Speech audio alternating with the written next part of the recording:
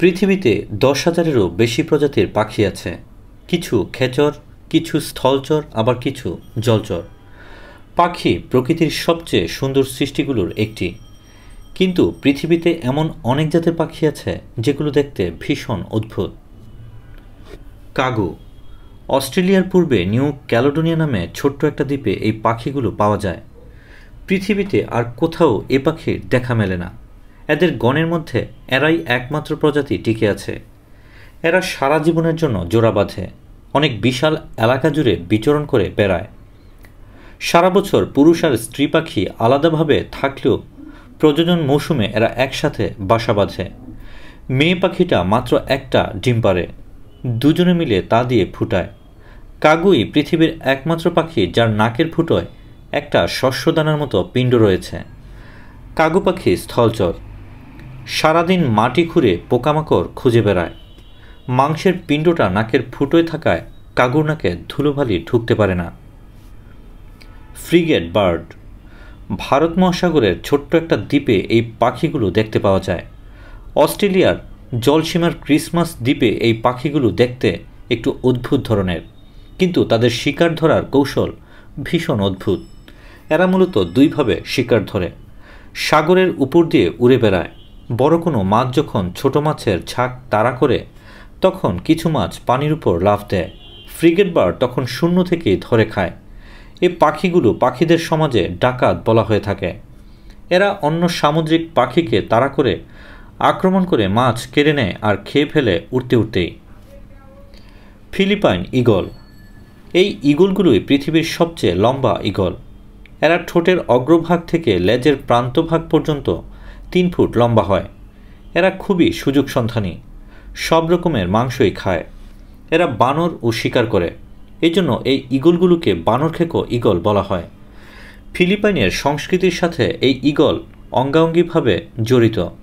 উনিশশো পঁচানব্বই সালের চৌঠা জুলাই এটাকে ফিলিপাইন সরকার দেশের জাতীয় পাখি হিসেবে ঘোষণা করে। এই পাখি মারলে বারো বছরের জেল হওয়ার বিধান রয়েছে। কাকাপো এই চমৎকার পাখিগুলো পৃথিবীর সবচেয়ে বিরল পাখিগুলোর একটি। দু হাজার তেরো সালে গুণে দেখা যায় মাত্র একশত চব্বিশটি পাখি আছে। নিউজিল্যান্ডের এই শিকারী পাখিগুলো এখন বাইরে থেকে আসা বিড়াল, বাদুর ইত্যাদি শিকারির কারণে বিপন্ন।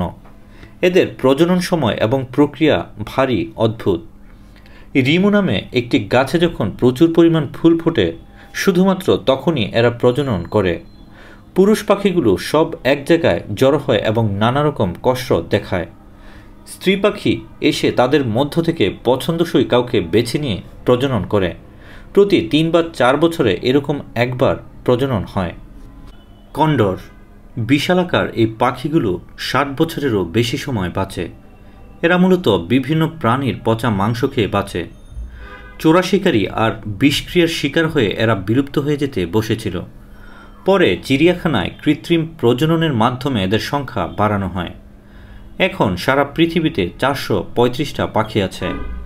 দুইশত সাঁত্রিশটি বন্য পরিবেশে এবং একশত আটানব্বইটি বদ্ধ অবস্থায়। এই পাখিগুলোর ডানা খুবই লম্বা হওয়ায় নিচ থেকে এদের দেখতে ছোট বিমানের মতো মনে হয়। অয়েল বার্ড এই পাখিগুলো গুহাতে থাকে আর রাতের বেলা উড়ে উড়ে ফল খায়। এই ছোট্ট পাখিগুলো বাদুরের মতোই শব্দের মাধ্যমে দিক নির্ণয় করে। বাদুরের করা শব্দগুলো শোনা না গেলেও এই পাখির করা কিছু কিছু শব্দ মানুষ শুনতে পায়।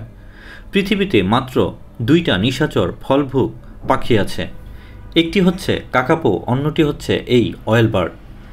অয়েল বার্ডের সবচেয়ে অদ্ভুত বৈশিষ্ট্য হচ্ছে এদের শরীর ভীষণ তৈলাক্ত। লোকজন এদের শিকার করে এদের শরীর থেকে তেল সংগ্রহ করে। হোয়ার্জিন হোয়ার্জিন পাখিগুলো দক্ষিণ আমেরিকার আমাজন জঙ্গলে পাওয়া যায়। এরা পাতা, ফুল, ফল ইত্যাদি খেয়ে বেঁচে থাকে। এই পাখিগুলোর শরীর থেকে ভীষণ দুর্গন্ধ ছড়ায়। এজন্য এদের আরেক নাম গন্ধ পাখি। এই পাখিগুলোর অদ্ভুত ব্যাপার হচ্ছে এদের শরীরে পাকস্থলী প্রক্রিয়াটা অনেকটাই গরুর মতন। এরা জাবর কাটতে পারে। এদের ডানাও খুব অদ্ভুত দেখতে। এদের ডানায় দুইটা করে নখ আছে।